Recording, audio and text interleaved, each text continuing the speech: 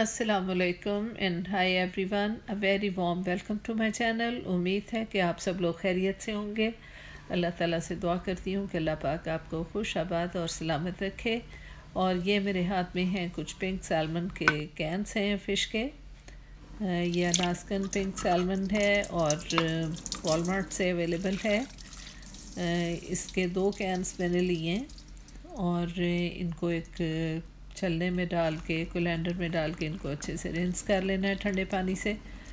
उसके बाद बस हल्के हाथ से इसको दबा के इसके अंदर से इसके पानी निकाल दें थोड़ा सा और, फिर एक फोर्क लेके इसके ऊपर जो स्किन और इसके कांटे दरमियान की बोन वगैरह है, उसको मैं थोड़ा सा साफ़ कर लूँगी इस फ़िश को। और जो फ़िश लवर्स हैं, वो तो इसको एज़ इट इज़ खाते हैं। इसमें जो इसके फ़िश के बोन्स वगैरह हैं, वो बहुत गल के टूट रही हैं बिल्कुल। और अगर कोई थोड़ी बहुत अंदर रह भी जाएगी तो वो फील नहीं होती पकने के बाद। लेकिन मैंने इसकी सब चीज़ें जो हैं ब्लैक स्किन और बोन्स वगैरह सब चुन के निकाल के ये प्योर मीट है। और अब ये फ़िश रेडी है कुक होने के लिए। तो इसके लिए कैसे मैं बनाऊँगी इसको आज? एक बड़े साइज़ की एक्स्ट्रा लार्ज अनियन मैंने ले ली है। इसको स्लाइस कर लीजिए। और इसके अलावा कुछ टमाटर हैं, सब्ज़ धनिया, सब्ज़ मिर्चें। ये मैं इसके मसाले की तैयारी कर रही हूँ। और इन सब चीज़ों को स्लाइस एंड डाइस करके उसके बाद मैं फ़िश पकने के लिए रखती हूँ। और प्याज जो है, इसका बहुत ज़्यादा बारीक या चॉप करने की ज़रूरत नहीं है। क्योंकि इसमें खड़े खड़े मसाले अच्छे लगते हैं। आ, हर चीज़ चूँकि फुली कुकड है फ़िश की इसलिए इसमें स्मूथ ग्रेवी या वो चीज़ नहीं बनानी हमने।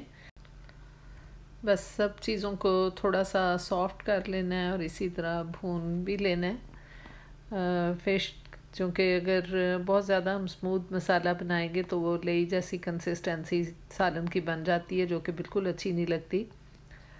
तो इसलिए मैंने हर चीज़ को पहले रेडी किया है और मोटा मोटा सब चीज़ों को रखना है। इसी में इसका फ़िश का टेस्ट जो है वो ज़्यादा अच्छा आता है। और प्याज़ों में थोड़ा सा ऑयल डाल के मैंने इसे फ्राई होने के लिए रख दिया है। और जब प्याज हल्के से गोल्डन हो जाएँगे तो इसमें टमाटर जिंजर गार्लिक पेस्ट एक टेबल स्पून भर के three four slices of jalapeno pepper ये सब प्याज़ों के साथ थोड़ा सा कुक कर लीजिए। और इसमें हालापिनो मैंने बहुत ज़्यादा नहीं डाली क्योंकि कुछ मैं बाद में फ्रेश डालूँगी गार्निशिंग में और आधी जो है इसके अंदर पका दूँगी। इसमें हम स्पाइसेस आज कौन से यूज़ करने वाले हैं? आइए मैं आपको दिखाती हूँ। One tablespoon red chilli powder नमक हंसपे जायका हल्दी हाफ़ टी स्पून अजवाइन वन चुटकी और ये खुश्क धनिया और सफ़ेद ज़ीरा भुना हुआ है। ये one and half tablespoon दो इलायची बड़ी वाली, दो दालचीनी के पीस ये सब मैंने मसाले जो हैं, अब प्याज और टमाटर वाले उसमें मिक्सर में डाल दूँगी और इनको थोड़ी देर कुक करेंगे इस मसाले के साथ। और अगर आप चाहें तो इसमें थोड़ा सा गरम मसाला भी ऐड कर सकते हैं। लेकिन मैं खड़े मसाले यूज़ कर रही हूँ इसमें। साबित इलायची और दालचीनी वगैरह, इसलिए मैंने इसमें गरम मसाला नहीं यूज़ किया। और ज़ीरा भी है, भुना हुआ, वो कोरिएंडर के साथ मिक्स हुआ हुआ है। एंड पे जाके हम इसमें थोड़ी सी ब्लैक पेपर डालेंगे। इसलिए तकरीबन सभी सभी मसाले इसमें आ जाते हैं। बहुत ज़्यादा इसको ओवर हीट नहीं करना, ज़्यादा मसालों के साथ। और इसमें थोड़ी देर के बाद जब ये मसाला अच्छी तरह भुन गया, कुक हो गया तो अब मैं इसमें फ़िश ऐड करूँगी।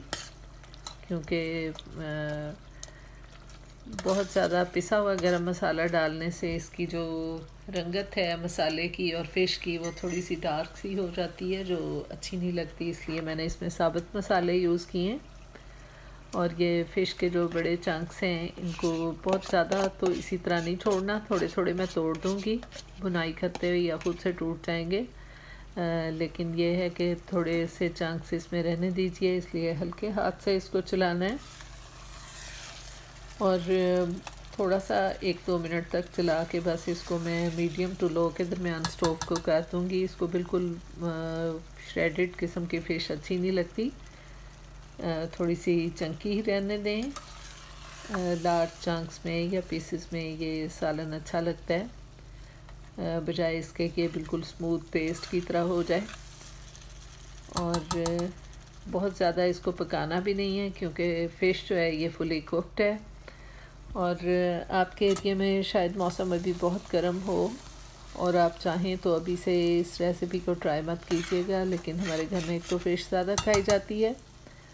और दूसरा हमारे मौसम बहुत अच्छा जा रहा है आजकल। काफ़ी यहाँ पे चेंज हो चुका है मौसम।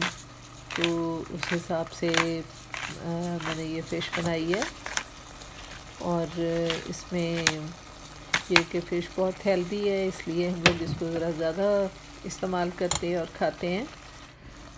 तो इसमें थोड़ा सा मैंने एंड पे फ्रेशली ग्राउंड ब्लैक पेपर डाली है और कसूरी मेथी क्रम्बल करके वो थोड़ी सी डाल दें, जितनी आपको पसंद हो। बस इसके बाद और गरम मसाले वगैरह इसमें मैं नहीं ऐड करूँगी। और लीजिए, हमारी मज़ेदार सी फ़िश तैयार हो चुकी है। इसे अब मैं डिश आउट कर रही हूँ और इसके साथ हम खाएँगे गर्मा गर्म रोटी, घर की बनी हुई फुलके। और बहुत खूबसूरत खुशबू इसकी आ रही है। इसे मैं थोड़ा सा गार्निश कर दिया है। सब्ज़ मिर्चों और सब्ज़ धनिया के साथ। और हमारा ये मज़ेदार सा फ़िश का कीमा तैयार है। आप भी इसको ज़रूर ट्राई कीजिएगा और मुझे बताइएगा कि आपको मेरी आज की फ़िश बनी हुई ये कैसी लगी। Please like comment share and subscribe and thank you so much for watching this video मिलती हूँ आपसे नेक्स्ट टाइम एक नए ब्लॉग के साथ। इजाज़त दीजिए। अल्लाह हाफिज़।